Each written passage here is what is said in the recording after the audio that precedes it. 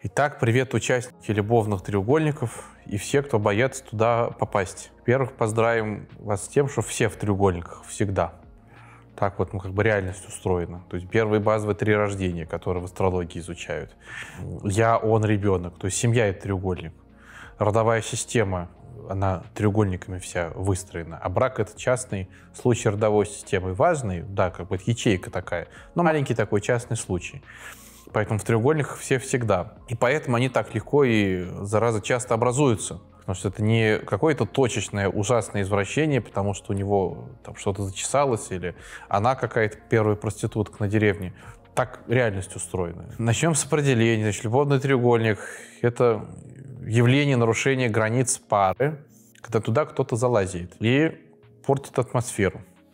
Кто туда может залазить? Но ну, обычно я так подозреваю, 8 из 10 случаев, кто смотрит, это какая-то носительница вторичных женских половых признаков, где вы заключили союз своим избранником. Он бритый крашеной тетке в ЗАГСе обещал, нет, под другую юбку лазать не буду. Только вот в бедности, в богатстве и в здравии, и в болезни, только с ней буду.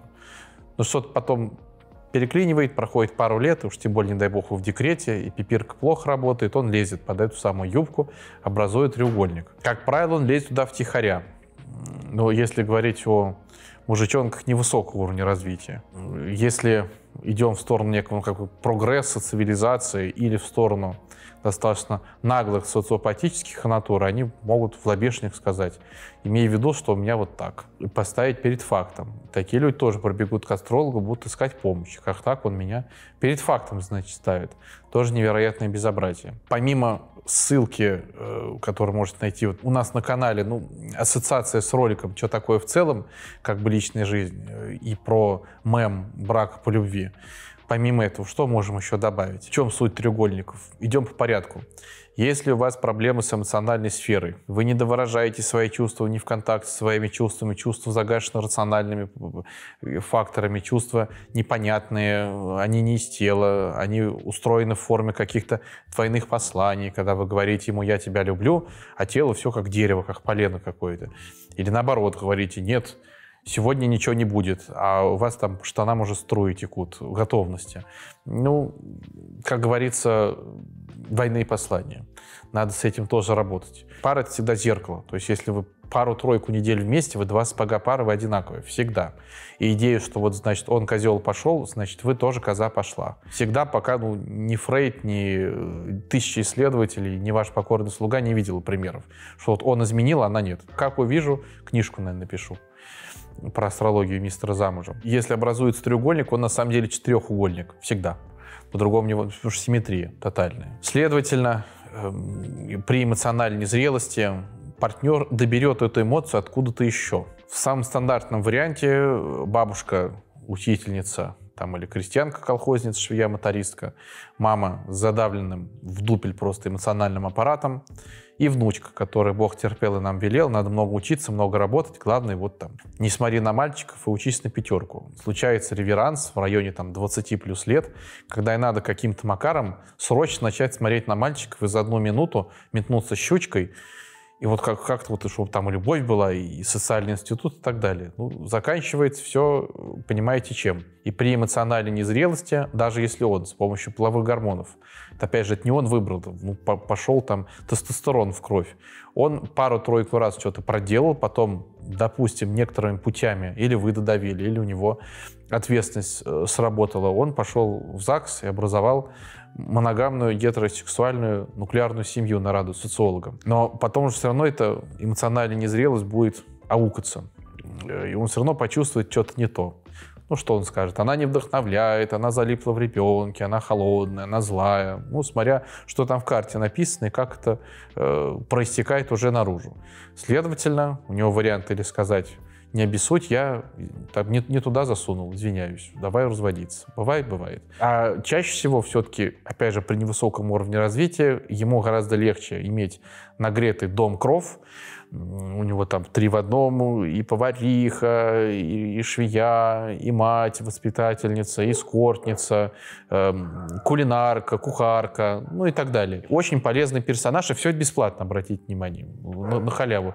Так надо было держать целую свиту просто прислуги домашнего персонала. Здесь она за само обещание, за корочку, за отметку, за штемпель в паспорте, чтобы Кузьминична и Ильинична не смотрели на нее у подъезда презрительно и не говорили, ага, синий чулок идет. Вот ради этого она готова за пятерых работать, и все это на халяву.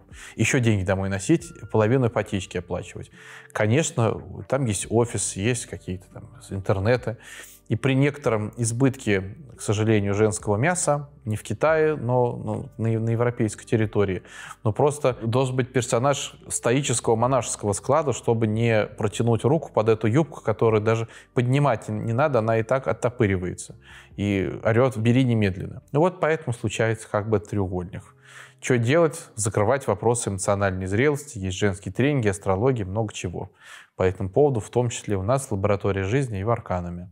Пункт 2, связанный с личностным неким моментом, с умением, возможностью быть собой, жить своей жизнью, быть ценной. Быть ценной — это не значит мисс фитнес бикини или дочка олигарха или кто-то еще. Главная сотрудница, топ-менеджер. Не, это вот жизнь такая внутри. Блеск в глазах, ощущение игры, ощущение радости, новизны, ну и так далее. Если таковое есть, вас бросить невозможно. То есть на худой конец, например, второе рождение солнышко светит, но эмоции деревянные. Но он придет и пояснит, как бы тебя там ценю больше всех на свете, но жить с тобой невозможно. То есть уже не треугольник, это какая-то трезвая договоренность появится. Победа, можно сказать. Ну и наоборот, при отсутствии вот этой самоценности вас выбирают как кухарку, прихватку, как какой-то ходячий атрибут из секс-шопа, бесплатный, который готов что угодно делать на халяву. Ну и потом все-таки это приедается механически. Половой гормон, ну год, ну два, ну максимум. После этого все сходит. Полового гормона больше нет. Остается физическое тело с набором социальных атрибутов. Без Божьего света, без ауры вокруг, естественно, он и она тоже, здесь пол даже не настолько важен, просто она чаще всего к астрологу побежит. Но он скажет, что что-то вот надоело, так может пояснить. Но это все будет про нулевую самооценку. Ну и, наконец, треугольник – один из наитипичнейших поводов и причин – непрожитое третье рождение, где в голове отсутствует кнопка «долго-ответственность».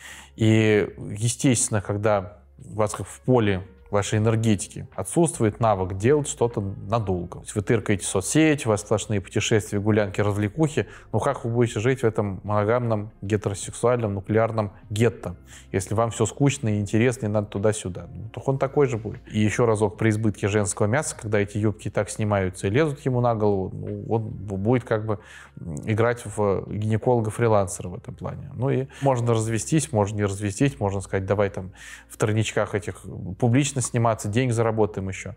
Пожалуйста, здесь каждый выбирает свой вариант и свой путь. Но при дефиците зрелости энергетической, особенно с годами, 30 плюс, 40 плюс вообще must have. Треугольник образуется 100 из 100. Если это все-таки не высокоранговый самец, и желающих оголить свои зады и снять юбки там мало перед ним, он все равно образует треугольник. Разные есть любовницы. Но раньше это были любовницы телевизоры, любовницы удочки в гараже, да и до сих пор свою актуальность сохраняет любовница-бутылка. То есть по Фрейду это сися архетипическая. Самец осуществляет давно забытый малышковый сосательный верхний хватательный рефлекс. Один из самых первых. Нужен, чтобы с голоду не сдохнуть. Поэтому он берет эту давно забытую сисю-сосу и сосет ее. Тоже любовница технически. Вот не хватает ему эмоций, он ее оттуда как бы добирает. Этот окситоцин, божий нектар с помощью растворов этанола. Снаружи вроде как, уже приводили пример, она нюхает клей на теплотрассе, это она асоциальный элемент. Она пишет письмо «Василий, вернись», это она семью строит. Здесь то же самое. Почему он пошел соседку оттарабанил, это он козел, семью разрушает. А если он сосет сосу в гараже, это он, значит, ну, немножко там отдыхает. Механически абсолютно один в один. Ни, ничем не отличается, один к одному это ситуация. Любовницы и треугольники могут быть еще любопытны. Есть такая любовница-мама, причем с двух сторон, которая лазит в семью, в молодую, в зрелую, неважно. И куча-куча всяких механизмов психоаналитических в части триангуляции, дип электро, когда на роль любимого объекта запихивается мама и сын, э, папа и дочка, и там тоже всякие педофилические аллюзии, концерты происходят в бессознательных дебрях. Ну и обычно, там, допустим, отец в семье, дочь пятиклассница, он ее ремнем по заднице порит. Никто же это не называет там педофилией, например, и треугольником. А до психи это самый настоящий треугольник, потому что мама пашет до потери пульса, возвращается в 9 вечера, а вот тут а, она бегает, хулиганит. Можно и пум, такую анальную фиксацию ремнем, и отец получает в голове свою такую галочку, некое удовлетворение. Это статья, по большому счету. Кстати, ювенальная юстиция в некоторых просвещенных странах наказывает, чуть ли не детей отбирает за это хозяйство. В каком-то смысле, ну, по, по Фрейду, наверное, это зря делает, потому что зачем?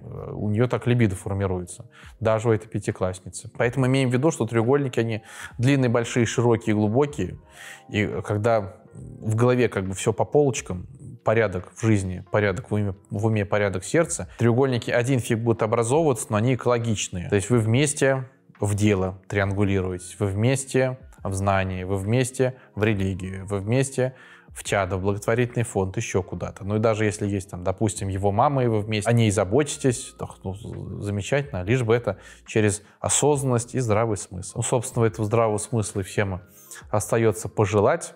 Напоминаю, что э, все дико индивидуально, надо смотреть обязательно карту. Если хотите, чтобы посмотрели астрологи лаборатории жизни, ссылка под видео.